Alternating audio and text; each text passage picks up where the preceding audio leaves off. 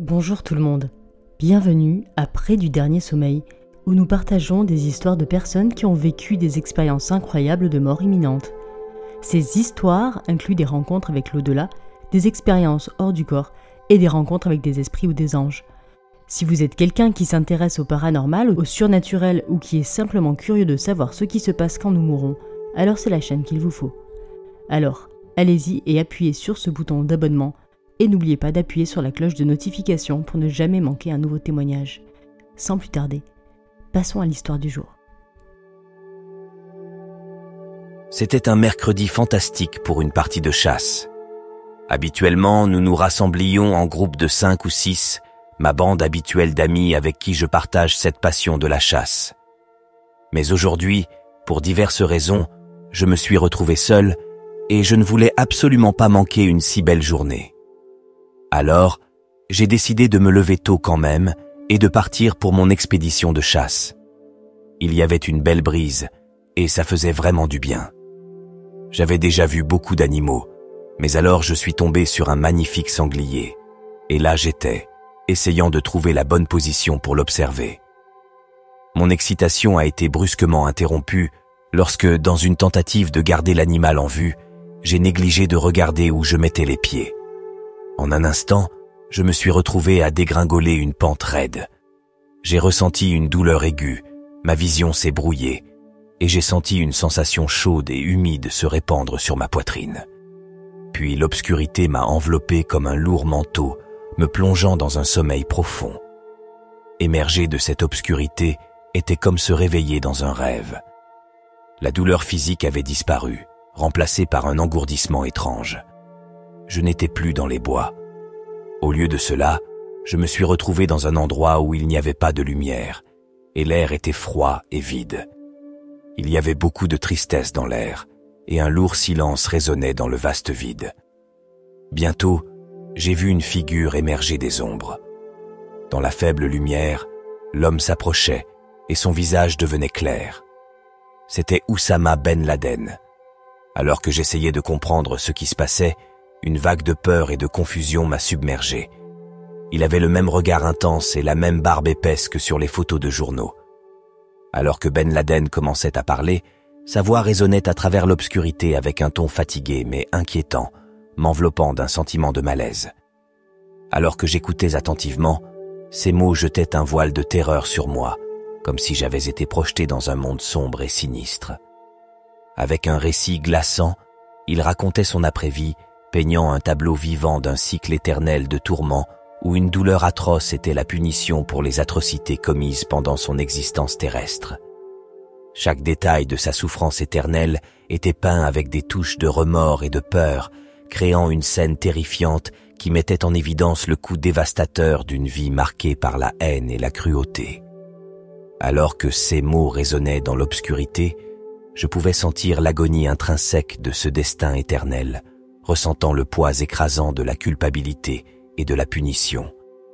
C'était comme si le temps lui-même s'était arrêté et que j'étais entraîné dans un tourbillon d'angoisse et de désespoir. Son visage montrait des signes de tristesse, avec de profondes rides là où il avait été blessé à plusieurs reprises par chacun de ses mots glaçants. Il avait l'air fatigué, épuisé après une longue journée de travail intense.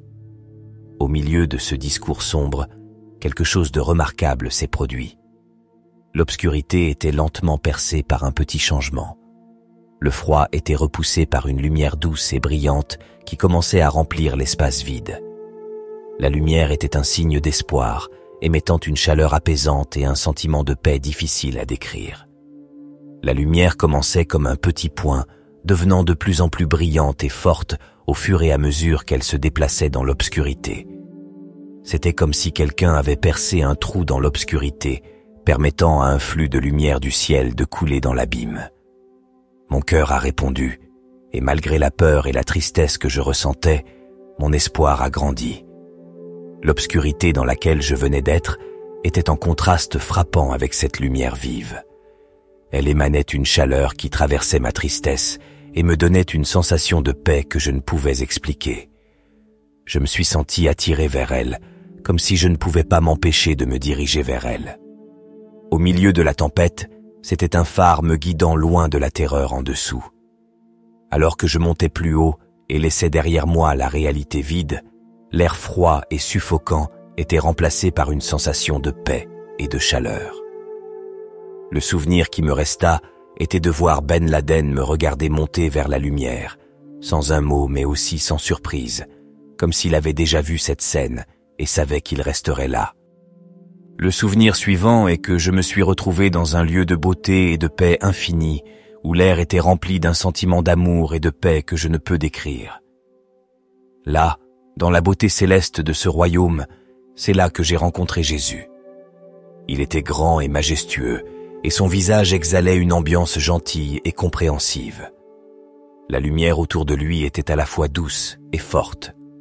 C'était un signe de son amour parfait.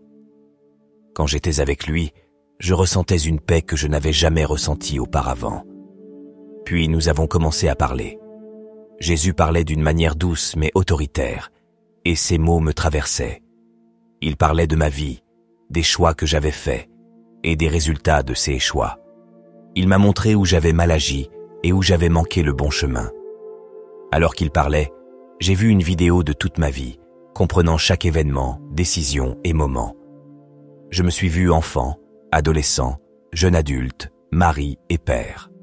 J'ai vu mes victoires, mes défaites, mes triomphes et les choses que je regrettais d'avoir faites. Grâce à cette prise de conscience, j'ai vu comment mon amour pour la chasse s'était lentement transformé en obsession, comment il m'avait éloigné de mes proches et comment il m'avait finalement amené au bord de la mort. Puis Jésus a commencé à parler du pardon et du changement. Il a dit, Il n'est jamais trop tard pour demander pardon, pour abandonner nos erreurs et nos méfaits, pour choisir l'amour plutôt que la haine, l'empathie plutôt que l'indifférence, et la gentillesse plutôt que la cruauté. Il a parlé de l'importance de bien s'entendre avec les autres personnes dans le monde qui nous entoure, Ému par ce qu'il disait, j'ai ressenti un profond regret pour la douleur que j'avais causée, pour les occasions manquées de montrer de l'amour et de la gentillesse, et pour les moments où j'étais trop concentré sur moi-même et n'avais pas passé assez de temps avec mes proches. Quand j'ai vu à quel point j'avais eu tort, des larmes ont jailli de mes yeux. À ce moment-là, j'ai ressenti comme si j'avais commis une très grosse erreur, alors j'ai commencé à supplier ⁇ Je suis désolé, je suis désolé, je peux être meilleur que ça, devant la figure majestueuse de Jésus. J'ai été tellement touché par la sagesse profonde et la compréhension qui venait de m'être montrée. C'était une réaction naturelle, et je me sentais redevable envers tous pour la façon dont j'avais passé ma vie. Mon cœur battait dans ma poitrine, non pas parce que j'avais peur, mais parce que je savais que j'étais en présence de Dieu. Avec un flot de remords, j'ai commencé à confesser mes pires erreurs. J'ai admis que je ne me souciais pas vraiment de ma foi et la voyais simplement comme une obligation sociale plutôt que comme un voyage spirituel. Ma fréquentation de l'église était devenue une routine. Le dimanche, j'allais à l'église, je chantais des hymnes et j'écoutais le sermon, mais je ne prenais pas le message à cœur ou ne le laissais pas toucher les parties les plus profondes de mon âme. J'ai dit que je regrettais de ne pas avoir été là quand ils avaient besoin de moi, que j'étais là physiquement mais émotionnellement distant. J'ai pensé à tous les anniversaires, cérémonies et autres occasions spéciales que j'avais manquées parce que j'étais trop intéressé par mes propres affaires ou trop attiré par le frisson de la chasse. J'ai avoué avoir oublié combien j'étais heureux et épanoui quand j'étais un bon mari, un père présent et un ami de soutien j'ai admis ne pas avoir développé de sens de compréhension et de gentillesse envers les autres parce que je mettais mes besoins en premier. Je n'avais pas été capable d'entendre les pleurs silencieux à l'aide et incapable de voir les signes subtils que quelqu'un avait besoin de réconfort. J'avais laissé mon obsession pour la chasse noyer les sons des animaux dans la forêt, ignorant leur droit de vivre librement dans leur habitat naturel. En confessant ces péchés, je pouvais sentir le poids de chacun d'eux m'écraser. C'était un rappel physique de ceux qui se passeraient si je ne changeais pas. J'étais rempli d'une vague de regrets qui me faisait sentir comme si j'allais mourir. Mais à chaque confession, il y avait aussi un sentiment de soulagement, comme si chaque admission de culpabilité était un pas vers la guérison et la rédemption. quelque chose d'étrange s'est produit au milieu de ma confession. J'ai commencé à sentir une chaleur apaisante m'envahir, comme une brise chaude d'été. Cette chaleur me donnait l'impression que mes confessions, mes regrets, mes promesses de changer et mes promesses d'être un meilleur homme, mari, père et ami étaient tous acceptés. Alors que je priais, cette chaleur devenait plus forte et coulait à travers moi, remplissant chaque partie de moi d'un sentiment écrasant de paix et d'amour. C'était comme être enveloppé dans une étreinte divine et démontrer à quel point Jésus aimait et se souciait des gens. J'avais un fort sentiment d'être accepté, comme si mon repentir avait été vu, entendu et accepté par le ciel. Cette chaleur divine m'a enveloppé dans un cocon confortable, et son baume apaisant a aidé à guérir les blessures de mes erreurs passées. Elle m'a submergé et a balayé ma culpabilité, me laissant avec un fort sentiment d'amour et de pardon à sa place. L'amertume du regret a été balayée, et la douceur de la miséricorde de Dieu a pris sa place. En ce moment-là, je n'étais plus l'homme errant sans but dans l'obscurité. Au lieu de cela, j'étais un homme prêt à suivre le chemin de la lumière, de l'amour et du repentir.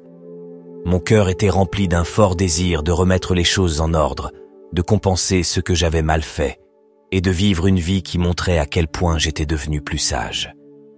Ce n'était pas juste une promesse que je faisais en présence de Dieu. C'était aussi une conviction qui découlait d'une nouvelle compréhension de ma place dans le plus grand tableau de la vie. C'était une promesse de vivre ma vie en accord avec ce que Jésus avait enseigné, d'être plus présent, plus compréhensif, plus aimant et plus pardonnant. Et quand j'ai fait cette promesse, j'ai ressenti quelque chose que je n'avais jamais ressenti auparavant, la paix, la satisfaction et un sentiment d'appartenance. Ce sentiment était un signe clair que j'étais sur le bon chemin, illuminé par la lumière divine de l'amour et du pardon. Et je savais avec certitude que c'était le chemin que je devais suivre pour le reste de ma vie. Juste au moment où je commençais à m'habituer à cette paix retrouvée, j'ai senti l'attraction de la réalité. Je sentais mon esprit être ramené à travers l'espace éthéré et ramené au monde réel. La lumière du ciel a commencé à s'estomper, et elle a été lentement remplacée par la lumière dure et stérile d'une chambre d'hôpital. Mon corps physique a commencé à se sentir comme avant. Je pouvais sentir les draps frais sous moi, entendre le bip constant des machines médicales et goûter la sécheresse dans ma bouche. Alors que mes sens revenaient, revenait aussi le souvenir du moment où j'ai failli mourir. Mes yeux se sont ouverts brusquement. J'étais de retour dans le monde réel, allongé dans un lit d'hôpital avec un groupe de médecins confus autour de moi. Je pouvais sentir mon cœur battre dans ma poitrine et ma respiration venir en cours hoquet. Mais même si mon corps me faisait mal, je ressentais une paix que je n'avais jamais ressentie auparavant. En ce moment-là, j'ai réalisé que j'avais eu une seconde chance, une chance de compenser mes erreurs et de vivre ma vie avec plus d'amour, de compassion et de compréhension. J'avais touché le fond du désespoir, atteint la paix divine et étais revenu pour partager cette connaissance. J'avais changé depuis que je suis tombé dans les bois. Je me sentais comme renaître, comme si j'avais appris quelque chose de nouveau, et comme si j'étais prêt à commencer un nouveau voyage d'amour, de compréhension et de regret.